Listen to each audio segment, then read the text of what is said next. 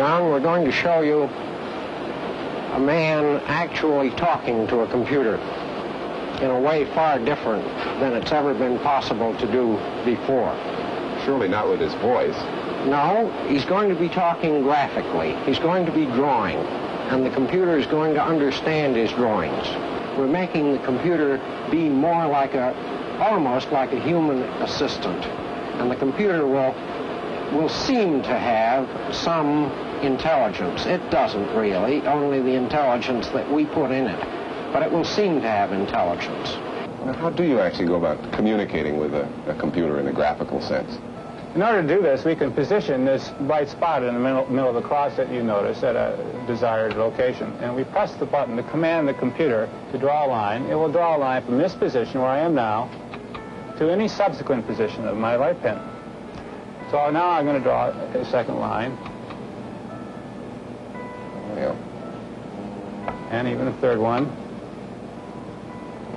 Now, if I made a mistake, I could delete my mistake by pointing at the line in question, for instance, and pressing the appropriate button. And it's gone.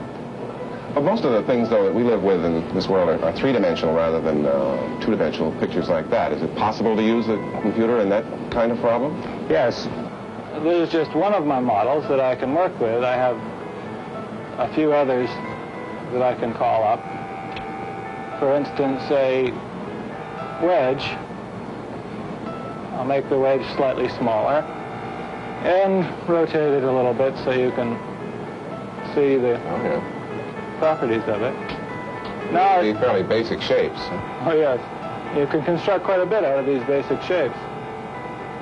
Is touchscreen is not really new as a technology. It's kind of a, a, new application of this in this computer. Is that right? That's absolutely true. Touchscreen is not new to technology. Uh, it's not a new technology. It has been used uh, on terminals mostly as again a pointing and a selection device.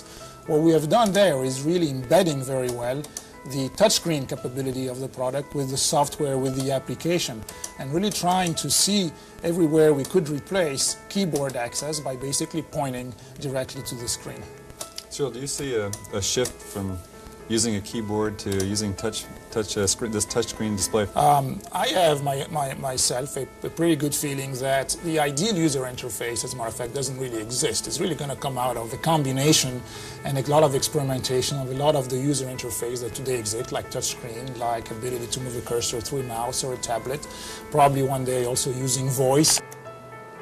This system can be used for creating letters and memos without typing, period.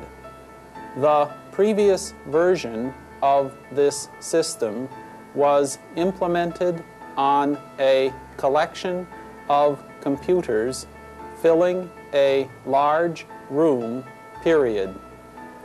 Herb, we, have seen an example that Cyril's been showing us here of, of, one of the newer versions of a microcomputer. Where would things be going after that? We talked with Gary at the very beginning of the show about what's the next step? Networking the computers together. Because given your own computer and being able to do many things on that computer, it seems like this almost commands the next step as being, now let us interchange data between computer users. Now, Julian, I see you have your computer linked to the telephone line. Can you tell us how you did that? Yes, well, it's very simple, really. Um, the telephone is connected to the telephone network with a British Telecom plug, and I simply remove the telephone jack from the telecom socket and plug it into this box here, the modem. I then take another wire from the modem and plug it in where the telephone was. I can then switch on the modem and we're ready to go. So it's a very simple connection to make? Extremely simple. Um, and I can actually leave the modem pl plugged in once it's done that without affecting the telephone. I'm now waiting for the computer to answer me. It answers with a tone, and then I just flick a switch on the modem and replace the receiver. And things are starting to happen. Things are starting to happen. And what do you use the computer for? Well, for keeping household records, such as uh, what I have in the freezer and people's telephone numbers and addresses. Um, I use it as a word processor for my letters, which always come out perfect now.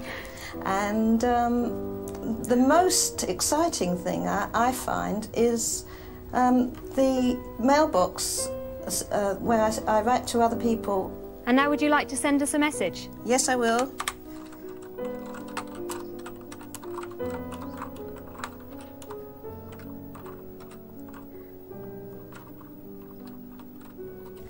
And I should be able to get the same message now on my screen. That's right.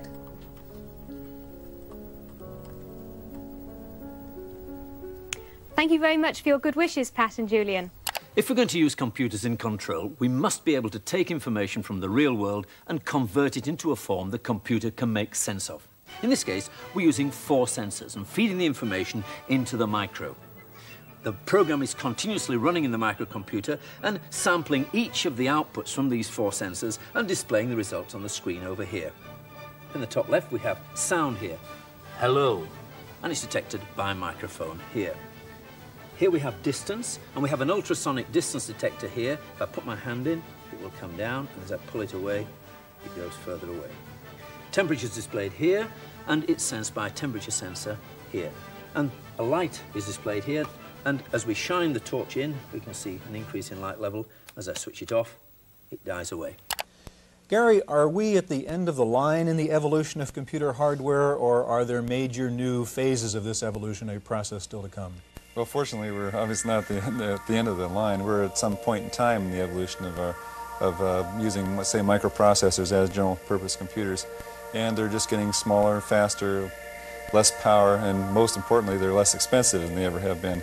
I guess the logical conclusion is they get so small that you lose them like you do your keys.